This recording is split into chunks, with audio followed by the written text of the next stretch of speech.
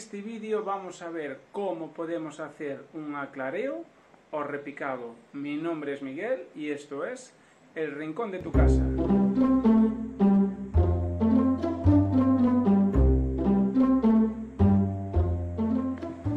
Bueno amigos, estamos a finales de invierno, temporada de semilleros en el hemisferio norte. Bueno, supongo que ya muchos sabréis hacer un aclareo o un repicado, pero seguramente que otros muchos no van a saber hacerlo o nunca vieron hacerlo.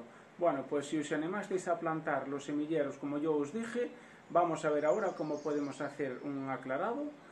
Y nada más, súper fácil, vais a ver que es súper sencillo, sí, un poco de paciencia y con un poco de paciencia y trabajo todo se puede hacer. Venga, empezamos.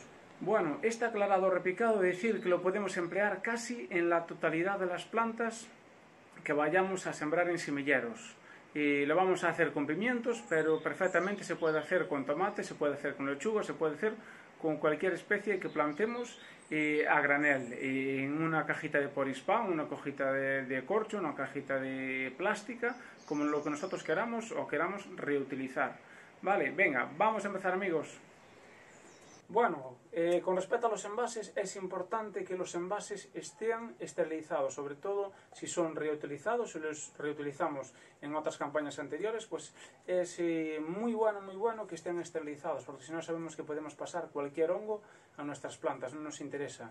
En un vídeo que hicimos, el vídeo del dumping off, os voy a dejar un enlace al final del vídeo para que veáis cómo esterilizo los envases, y nada más, venga, vamos a empezar. Bueno amigos del Rincón, comenzamos el vídeo. Aquí tenemos el semillero que vamos a hacer un aclareo o un repicado, en este caso de pimientos, pero como os dije, podemos emplearlo en cualquier especie. Y nada, vamos a empezar, solamente tenemos que decir, bueno, para la gente pues que se esté iniciando en este mundillo, que para hacer el trasplante de aquí de la planta a vasos individuales, lo mínimo que tiene que tener es hojas verdaderas. Si solamente tiene los cotiledones, eh, no se pueden sacar de momento de este envase. Vamos a esperar a que tengan hojas verdaderas. Aquí las vemos. Estos serían los cotiledones y estas siguientes hojas verdaderas. Una vez que tienen hojas verdaderas, pues ya podremos pasarlas a envase individual. Es lo que vamos a hacer. ¿Qué pasa si no los pasaríamos a envase individual? Bueno, pues que las raíces se harían más grandes y al final se anudarían unas con otras y será más difícil después separarlas. Entonces, eh, preferiblemente vamos a hacerlo en luna menguante, es muy importante hacerlo siempre, trasplantes en lunas menguantes, entonces ahora estamos en luna menguante, si no la sacáramos ahora tendríamos que esperar un mes más tarde y un mes más tarde la planta crecería bastante más y sería más difícil. Cada uno escogería eh, a su gusto y como más guste. Yo voy a hacerlo ahora y nada más, venga, empezamos. Voy a enseñar los bueno, envases. que vamos a utilizar. Aquí lo vemos, cualquier envase reciclado, lo que cada uno guste o pueda conseguir, sea vasos de café, de yogur, lo que sea. Cada uno lo que guste. Yo tengo de estos y voy a hacerlo en estos envases. Y cuanto más tierra tenga, bueno, pues más nos va a aguantar la planta, aunque sea un poquito más grande, pues mejor aún. Y después tenemos estos, que son un poquito más pequeños. Estos aún tienen un poco de profundidad, son bastante buenos, pero son así, son bastante pequeños. Importante que tengan agujeros hechos siempre por el fondo. El agua tiene que drenar, nunca puede quedar estancada, si no la planta se nos moriría. Envases todos agujereados por el fondo. Nada, arrancamos. Bueno, yo lo que hago ya es coger varios envases, llenarlos ya de tierra, eh, de sustrato hasta la mitad del vaso, decir que esta mezcla la, la hice con turba, humus de lombriz y vermiculita y perlita y nada, la hacemos como si fuera para un semillero normal y una vez hecho eso, y solamente tenemos que hacer poca para completar así unos primeros vasos. Después ya iremos aprovechando la tierra de este semillero, de este semillero, ¿eh? no de cualquier otro semillero, solo vale la tierra de este semillero. Bueno, bueno amigos, empezamos con mucho cuidado los primeros. Vamos metiendo el tenedor despacito, suave, sin dañar mucho las raíces. Hacemos un pinzamiento de abajo arriba y simplemente lo que tenemos que hacer ahora es tirar despacito. Aquí vemos y con suavidad ya nos vienen las primeras plantas. ¿Vale? Simplemente sería ahora llenar esto de tierra. Vamos a dejar así unas pocas y después las vamos llenando todas. Casi no, vamos a hacer mejor así. Vamos a coger otra. Perfecto. Perfecto.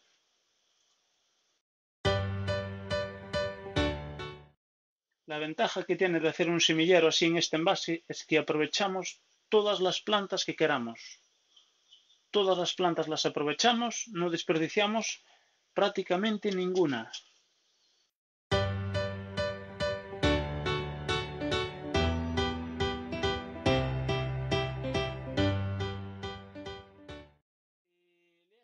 Poco de tierra porque la verdad es que por la mitad eh, pues me pareció mucho. Le he dejado más o menos por aquí, si lo veis, por aquí. Tiene un poquita, vale. Dependiendo del tamaño que tenga pues la planta que vamos a trasplantar. Y bueno, pues nada, empezamos. Decir que una vez que tengamos la planta, lo que aquí tenemos, bueno, pues eh, dos opciones. Una opción es dejar la planta tal y como está y plantarla y dejar los cotiledones, que son las primeras hojas que le salen, o directamente cortar los cotiledones. Yo eh, opto por cortarlos. Se puede enterrar, si no cortamos los cotiledones, lo ideal es dejar la planta plantada y no enterrar los cotiledones. Si se los sacamos, podemos enterrar un poco más y siempre le va mejor a la planta enterrarla un poco más. Y yo siempre pongo el ejemplo de que los cotiledones es como los primeros dientes de los niños, si al final le van a caer. Vale, pues entonces yo lo que hago es coger una tijera y cortárselos. Y ahora sí, directamente nos vamos al vaso, lo ponemos en tierra y ya aquí lo podemos llenar de tierra. Centramos la planta que nos quede más o menos, bueno, pues al medio.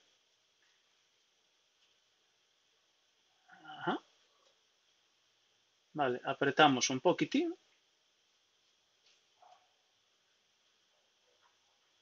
Estas cosas hay que llevarlas siempre con paciencia y con armonía, porque si no, estas cosas si no se hacen a gusto nunca saldrán bien.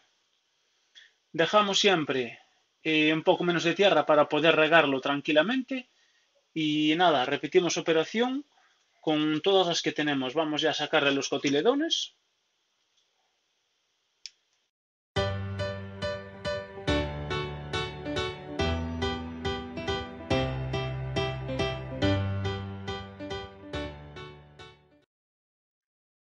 Bueno, aquí hicimos estas plantas, veis cómo nos quedan, más o menos. Dejamos siempre un borde de agua, un borde, para poder aplicar el riego y que no se nos desborde el agua.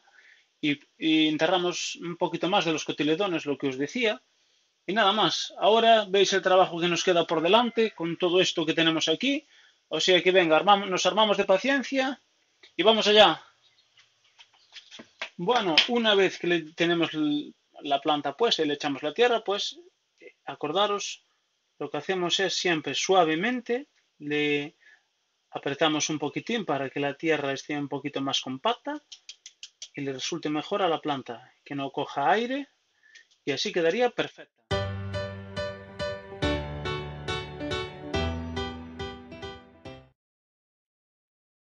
Aprovecharemos para coger las plantas que mayor número de raíces tengan, porque como tenemos muchas, pues podemos, bueno, pues abastecernos con las que queramos. Entonces, las que tengan pocas raíces, que vemos que nos salen con poquitas raíces, que no nos gustan, pues nada, directamente las desechamos y escogemos siempre las mejores y las de mejor calidad.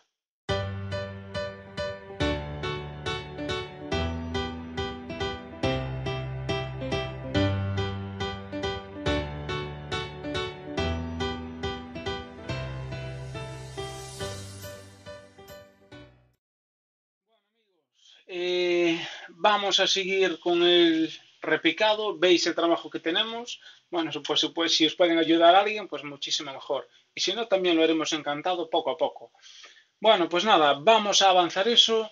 Vamos a cortar aquí el vídeo, voy a hacerlo todo y al final os enseño cómo ha quedado, ¿vale? Bueno, vamos a probar ahora a hacerlo en estos envases. Si lo que queremos es eh, ir un poco más rápido, pues yo lo que hago es, para no ir de uno en uno, Pongo un poquito de tierra en el fondo, un poquitín solo. Pongo las plantas y las pongo una para cada lado. O sea, no las pongo así, no las cruzo, no, las pongo así, abiertas, una para cada lado y así pues puede ir un poquitín más rápido. Exacto, así.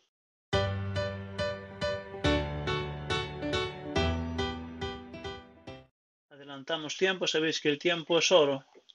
En los tiempos que corren hoy en día, pues el tiempo es oro. Si trabajamos, si tenemos niños, si andamos con prisas, siempre premia el tiempo ante todo.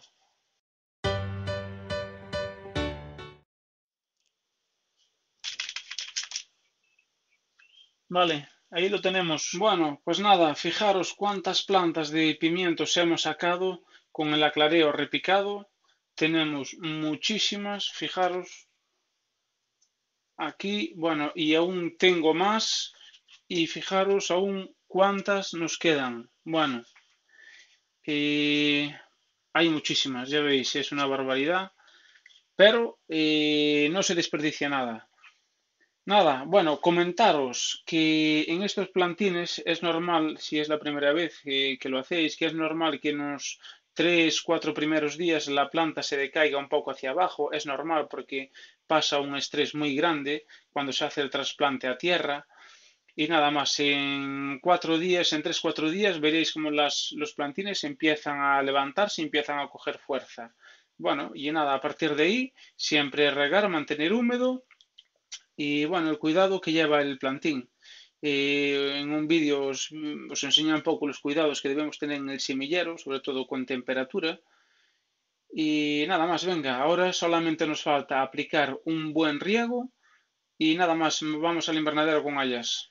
Bueno, importante siempre marcar la variedad de cultivo que vayamos a plantar. Aquí lo vemos porque si no lo hacemos nos llevaremos un disgusto muy grande cuando mezclemos los cultivos y no sepamos cuál es cuál. Bueno, solo sobreviven las plantas más fuertes, las que vimos pues un poco más débiles o bueno, pues que tienen las hojas un poco dobladas o las más pequeñas, las desechamos, las uh, irán para el compost, no se desperdicia nada y la tierra la echaremos pues en la huerta en cualquier sitio, no lo utilizaremos para hacer nuevos semilleros porque sería un foco de infecciones para otros posibles semilleros que hagamos. Entonces, esta tierra la echamos en la huerta. Bueno, aquí vemos el semillero que hicimos, aquí vemos todas las plantas de pimientos de padrón que tenemos. Fijaros, solamente en este envase ya hay 50, es una barbaridad lo, bueno, pues lo bien que funciona.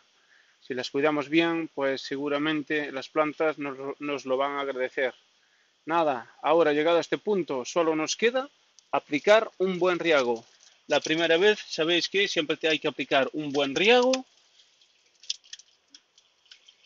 Si puede ser agua de lluvia, muchísimo mejor.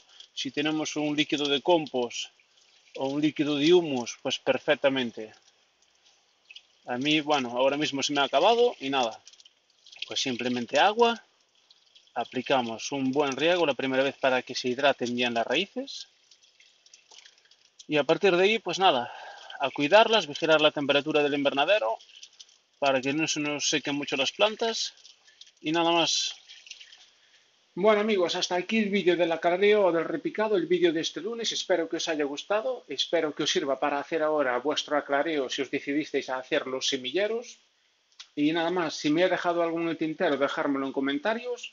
Y nada más, animarte que te suscribas a mi canal, veremos un montón de cosas interesantes siempre con relación a nuestras viviendas, no solo las huertas, sino también obras en nuestras casas, pequeñas obras que podamos hacer y que yo os pueda ayudar. Y nada más amigos, hasta un nuevo vídeo y un saludo. Chao, chao.